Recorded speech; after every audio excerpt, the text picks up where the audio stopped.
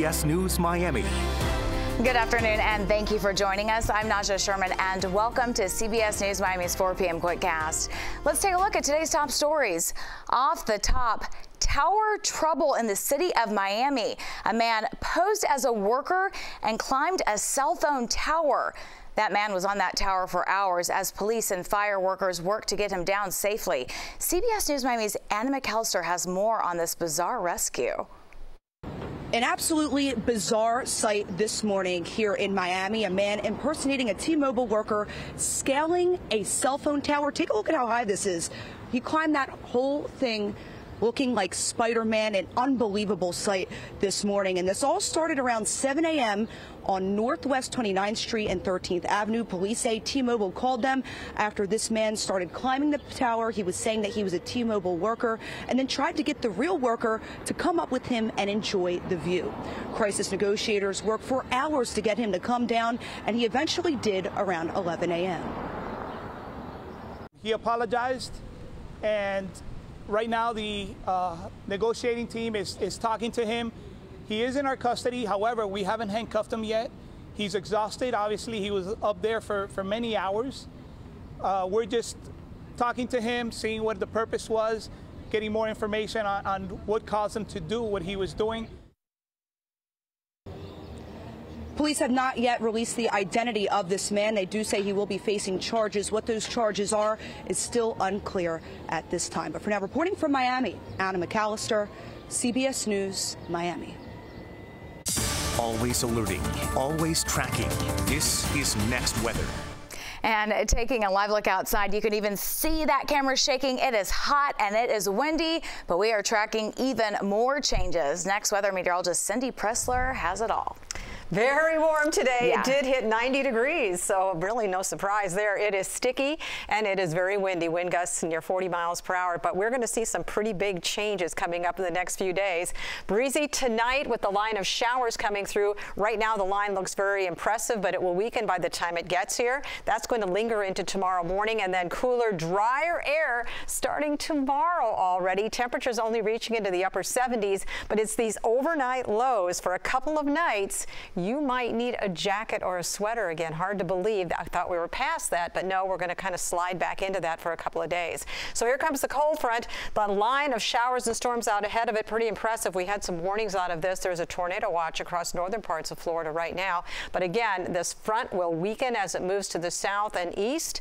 All the energy will stay to the north. So even though getting some rain with a little bit of thunder and lightning in the Tampa area, by the time it gets this far south, these little showers will break up. So we're going to maybe get a few hundredths of an inch of rain out of this, and that about it. But this wind, my goodness, out of the southwest, gusting to near 40 miles per hour. Right now, 18 gusts to 29 miles per hour. So that south-southwesterly flow bringing in the humidity and also the very, very warm temperatures. So these gusts are producing this wind advisory. That will end at 8 o'clock tonight because by that time, the front will be already pushing through. So let's time this out. Little showers 8, 9, 10 o'clock, a few prefrontal showers. And as the front front comes in overnight. We'll see some showers in the early morning hours. And again, this is just going to be some rain showers. We're not expecting any severe weather with this, but it's the cooler, drier air coming in behind that will make a huge difference.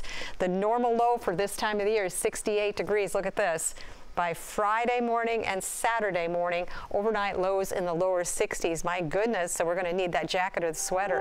Again, a couple of mornings at least if you're going to be out early walking the dog or taking a jog. So tomorrow's highs, temperatures of 79 degrees with some morning showers, dry by the afternoon, and what a beautiful week it's going to be heading into the weekend. Looks like a great weekend. Thank you, Cindy.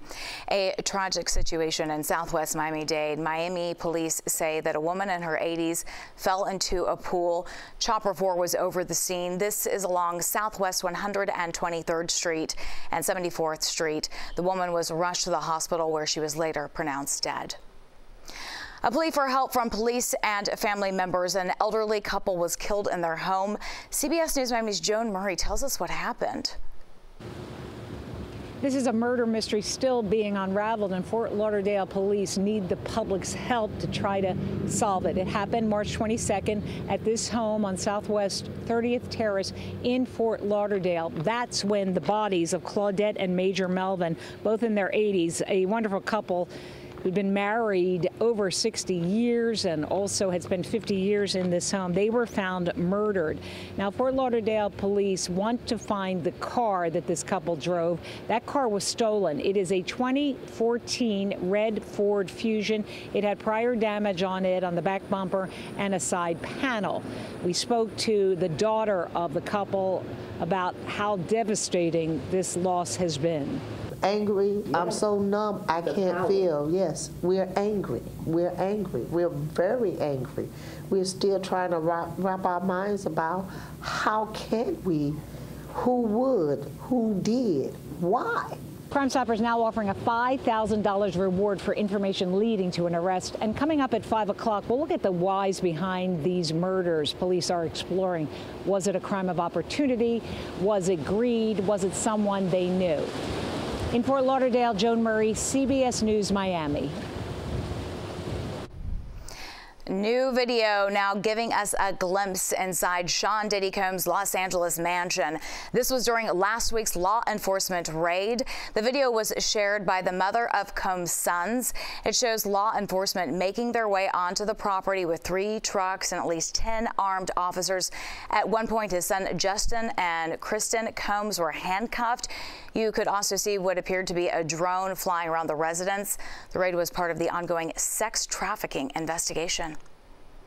Now at 4, the search is on for survivors in Taiwan. This is following the strongest earthquake to rock that island in 25 years.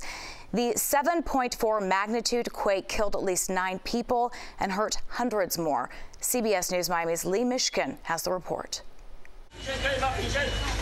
A shocking scene as rescuers race to save people from a collapsed building in Taiwan. This dramatic video shows the moment it fell. Deadly earthquake hit as commuters were making their way to work and school on the island of 23 million people. Landslides and debris shut down highways. The impact so strong it was felt in neighboring China, sending school children running. Others in Taiwan took cover with protective gear. Authorities issued tsunami warnings in Taiwan and Japan. Both have since been lifted. Uh, I've felt some earthquake, but nothing like this.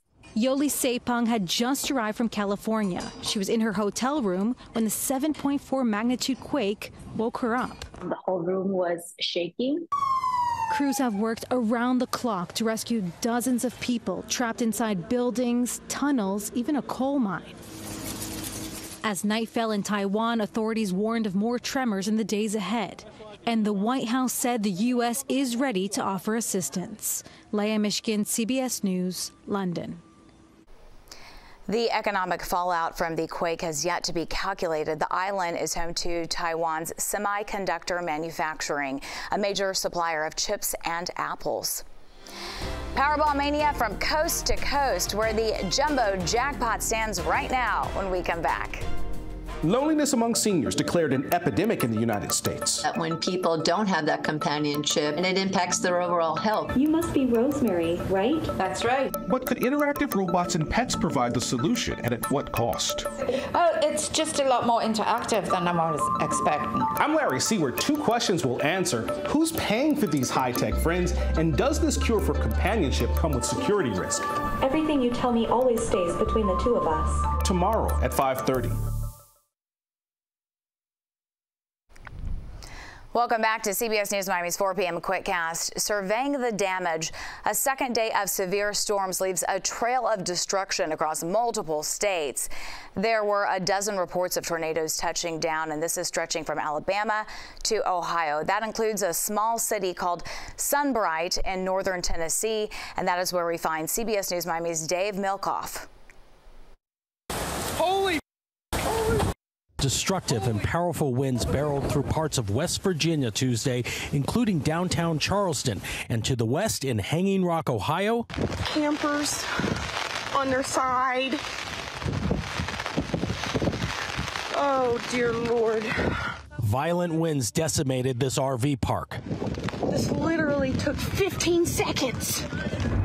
Those violent storms hammered a dozen states Tuesday, tearing neighborhoods to shreds at the University of Kentucky in Lexington, the winds were so extreme, this student was knocked off their feet. At 517 our first outdoor war warning sirens went off across the city. Violent storms around Louisville left behind so much damage, the area now has a huge cleanup project to tackle. I will be declaring a state of emergency uh, for the entire Jefferson County.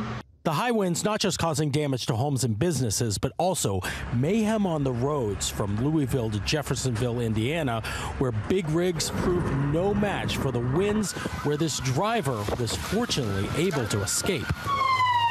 Back here in Tennessee, residents in Sunbright were shocked to see the wreckage left behind. Well, it's just a gut punch to, to see your town and see these old buildings just demolished. The tornado likely struck just after 5:15 p.m., leaving the local funeral home in ruins and the owner stunned. I really didn't think a whole lot about it. I was really surprised when, you know, when I got up here and seen all this damage. Yeah, that funeral home is right on the other side of this building, right in the heart of town of just 500 people. It came apart. It crushed these two cars right here, and people were almost sucked out of their houses on this street. But the tornado warning came out. They had 15 to 20 minutes worth of warning, and that saved lives here. Nobody was killed. Dave Malkoff, CBS News in Sunbright, Tennessee. A significant rate decrease has been approved for FPL residents. Customers, this is heading into this year's peak season for electricity use. Florida's Public Service Commission approved the adjustment as the cost of natural gas plummets.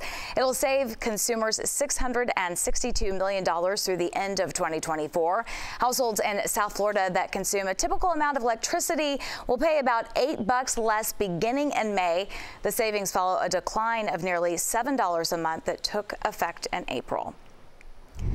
Happening tonight, the Jumbo Powerball Jackpot will be once again up for grabs. So good luck to you if you're playing. The jackpot stands at $1.09 billion. The pot has been growing all year without a grand prize winner since New Year's Day. The lump sum option is worth $527.3 million. And you can watch tonight's drawing right here on CBS News Miami at 11. We are following several stories for you this afternoon, so here's a look at what's coming up on CBS News Miami at 5. We are just five days away from a rare solar eclipse. South Florida isn't in the path of totality, but that does not mean we won't get a show. What you can expect starting at 5. That's the CBS News Miami Quickcast. I'm Najahe Sherman. Stay tuned for more news right here on CBS News Miami and have a fantastic day.